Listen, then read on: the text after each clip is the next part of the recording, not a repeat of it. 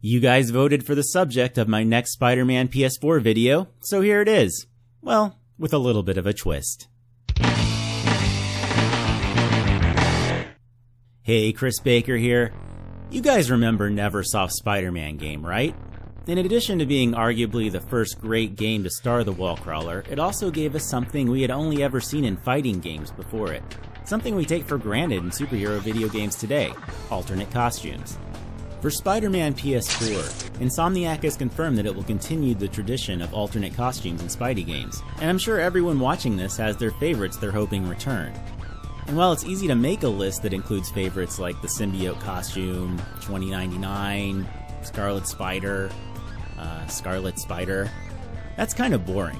If you care enough to watch this video, you know those already. In the Twitter poll that you voted on, I used the phrase underused alternates, not to be confused with underused alternates. but let's go one step further. The top 20 list I'm about to present includes some costumes that have never been playable in Spider Man console and PC games. And I use that qualification because of Spider Man Unlimited on mobile, which has gotta be at like 300 suits right now. Still, I don't think that game has all of these either. When you take the whole Spider Verse into consideration, narrowing things down to 20 is quite the task. So all of these had to fit within two parameters.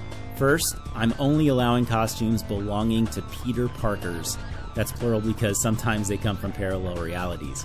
But only parallel realities where the character is named Peter Parker. So, sorry, all of you web warriors here. Also, every costume on this list was part of an actual story, not just cool cover art like we get sometimes for variant cover themes. Okay, enough preamble, let's do this. Number 20 Parker Industries. Peter's most frequently worn costume since 2015 is mostly in line with his traditional look, but it's a lot more techy to reflect his role as the head of Parker Industries, which recently ended in 2017. He was basically Steve Jobs or Bill Gates as a day job while traveling the world to assist Nick Fury as Spidey. I think Insomniac could do some really cool stuff with things that don't come across on a static page, like the oversized glowing spider and the glowing eyes. Number 19 Spider Hulk. The 1990 Web of Spider Man story, where Peter turned into a Spider Hulk, was pretty dumb and had absolutely no repercussions, but it'd make for a pretty great alternate costume. This story was so simple, it didn't even bother to name the mad scientist who stole Bruce Banner's Hulk essence and accidentally transferred it to Spidey. Spidey hulks out a couple times in Web of Spider Man number 70, but by the end of the issue, that Hulk essence is conveniently recaptured by the device that stole it. Years later, Spidey would Hulk out again in a story called World War Hulks, plural, but I prefer the green to the brown. Number 18 The Amazing Spider. There was a really fun set of annuals in 2011 that spanned The Amazing Spider Man, Deadpool, and The Incredible Hulk. The story was called Identity Wars, and it gave us this alternate reality Peter Parker who went by the Spider. I love this look, and he's basically a parody of Superman and Batman at the same time with his cape and spider cave, all with a really dark twist. Fun side note, back when I worked with Marvel Games, I was working on Ultimate Marvel vs. Capcom 3, and I suggested a nod to Identity Wars through these costumes for Deadpool and Doctor Doom. Number 17 Deathlok Survival Gear. This militaristic look for Spider Man originated in Wolverine Weapon X number 13 by Jason Aaron, with a glimpse into a possible future where Roxxon rules the world and is destroying anyone with superpowers with the use of Deathlok cyborgs. Peter puts up a good fight, but it doesn't end so well for him. Number 16 Friendly Neighborhood Spider God. Jason Aaron returns with a much happier tale in his super fun Astonishing Spider Man and Wolverine series from 2012. Your friendly neighborhood spider god is really just your standard Marvel Universe Peter Parker stuck in a weird time vortex. This costume comes at the beginning of issue 1, where we're introduced to the fact that the two heroes are stranded in a prehistoric era for months, and they have no idea how they got there. There are actually quite a few good alternates I considered from the story, and you'll see another one very soon. Number 15 Old West Spidey. And by very soon, I meant right now. Near the end of Astonishing Spider Man and Wolverine, Peter and Logan are stranded in the Old West for what appears to be even more months, maybe even years. I love the subtle nods to their actual costumes that you see both on Spidey's hat and Wolvie's necklace. Number 14. Fear itself. Awaken! Marvel's huge comic crossover event of 2011, Fear Itself, ended with Earth's mightiest heroes leveling up with costumes created from the same material that makes up Thor's hammer, called Uru. Spidey only wears this costume for a few panels, and his dialogue isn't exactly super compelling as he does, Gah! and Cap, look out! But I do like the design. Plus, it ideally makes him just more powerful to play as when you wear this costume. Number 13. American Son. I've always loved what Peter did with his cloth black costume back during the American Son story in The Amazing Spider Man number 599. After the Dark Avengers and Norman Osborn as the Iron Patriot had foiled Peter's attempt to infiltrate the group, they beat the crap out of him to the point that his mask was destroyed. As the story came to a conclusion, Harry Osborn donned his own armor to become the American Son and to fight his father. Spidey improvised a new mask with his remaining cloth and jumped into the fight like this. Number 12. Spider Man as Daredevil. Did you know that Peter wore Daredevil's costume? There was a time during the Brand New Day era when Spidey was in trouble with the law, so Peter asked Matt Murdock nicely if he had an extra Daredevil costume he could borrow. Eventually, Vermin would rip it to shreds during a fight, so uh, Matt's not getting this one back. Number 11. Naked Spidey. Back in 2014, the Amazing Spider Man number 1 brought Peter back to Spider Heroics after having his mind replaced by Dr. Octopus for the past couple years. While attempting to foil a plot by the C-list villain White Rabbit, Spidey found himself face to face with her Z-list associate named Skein. Her power? To control fabric. It didn't take long for Peter's spider suit to become a suit more of the birthday variety. Number 10. Mythos.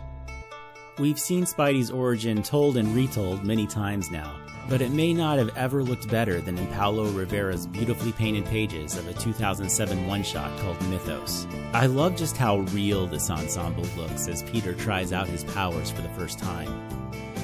And just a few pages later, he's meeting Conan O'Brien. Number 9. Black Widower. Recently, Spider Man has been palling around with Deadpool an awful lot. In issue number 8 of Spider Man Deadpool, Peter tried on this new costume after having been brought back from the dead with a bit of an attitude. It was actually Deadpool who killed him. I'd love to see the suit's stealth mechanic at work in Insomniac's game somehow, but more importantly, this look just works for me. It's got a Black Widow hourglass on its palm, so that's why I'm calling this the Black Widower. Number 8. Secret Wars Civil War. The big Secret Wars event of 2015 was hit and miss, but a highlight was definitely Civil War, written by Charles Soule. It basically answered the question of what would have happened if the superhero Civil War had never ended. The answer? The US divides itself between East and West, led by Iron Man and Cap, respectively. Peter played a major role early on. He was on Captain America's side, but MJ and their daughter were in the East with Iron Man. With no reason to wear the mask anymore, and with things just more militaristic overall, these were Peter's fatigues in the series. It'd be cool if Insomniac could add a glide mechanic with the Falcon like wings, but they can always be simply retracted, I guess. Number 7. The Halloween costume. There's part of Amazing Spider Man number 647 when Peter has to stop Overdrive, but his suit's being laundered. Luckily, he's at a Halloween store with a cheap Spidey knockoff costume that he gets absolutely no royalties from. And by the end of it all, it's like meeting Skein in entry number 11 all over again. This whole scenario would actually make a really great side mission, and that'd be an extra cool way to earn the alternate costume. Number 6. Ultimate Spider Man's wrestling costume. After the poster everyone talked about in Peter's room in the last trailer, we have to include the wrestling costume from Ultimate Spider Man number 3, don't we? I think the odds are pretty good we'll see it make the cut. Number 5. Ultimate Spider Man's first costume. Late in that same issue number 3, the wrestling promoter tells Peter he hates his other costume and gives him a new one, which will soon turn out to be the actual first ever Spider Man suit in the Ultimate Universe. It's pretty much just some spider decals away from being his actual costume that we know and love, but it's still something that we've never seen. It has a high degree of importance, and it's also kind of just cool for being different. Number 4. Seems like the perfect slot for a Fantastic Four costume, huh? Spidey actually has quite a few variations on this over the years, from his Bagman look we see all the time in games to the Fantastic Five, but I like this one best for a couple reasons. One, it's just a cool design. Most Fantastic Four themed Spider Man suits don't actually include a spider around the Four emblem. And two, it actually happens in mainline continuity. Probably the only reason it doesn't work out is that the Fantastic Four had officially changed to the Future Foundation at this point, shortly after the apparent death of the Human Torch. We've seen plenty of Future Foundation costumes in video games, but never the actual Fantastic Four costume that came right before them. Number 3. Negative Spider Man. Put simply, when this happens in the game, I hope we get gameplay in this costume as an evil Spider Man for a while.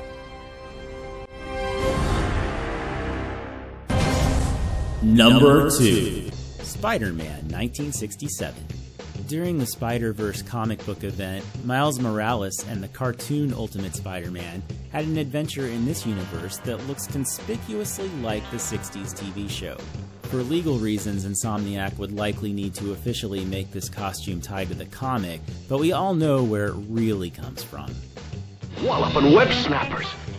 Even though it's so stripped down, this look is downright iconic and deserves to be represented in a game. Number 1. The first Spider Man costume. Would you believe that Steve Ditko's first ever Spider Man costume has never come to life in a video game? The differences are subtle, sure, but they're definitely there. For one thing, and possibly debatable depending on who you ask, the part on the suit we think of as blue is widely reported to actually be black, with blue there to accentuate the shadows. I tend to believe that myself, so I'm gonna call it black. It's my list. But even more obvious, that spider on his back is differently shaped and definitely not red. In fact, it's very blue. Anyway, I'd call that a pretty historically significant alternate costume, wouldn't you? I can't think of a better number one. So, what did you think of all this? And what costumes would you hope to see? Let me know in the comments, and maybe we can do a little more on the subject in the future. Also, don't forget to like and subscribe. Till next time, everybody.